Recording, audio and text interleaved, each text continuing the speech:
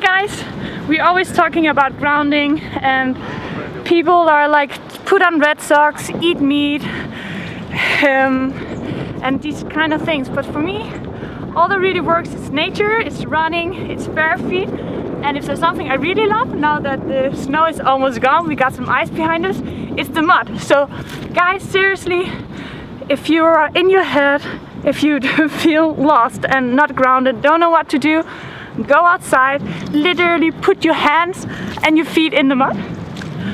Do windmills. I will do one just, just for you guys. and just feel free. So that was it for today and I'll talk with you soon. Doo -doo. This is one of my favorite exercises, just hanging out.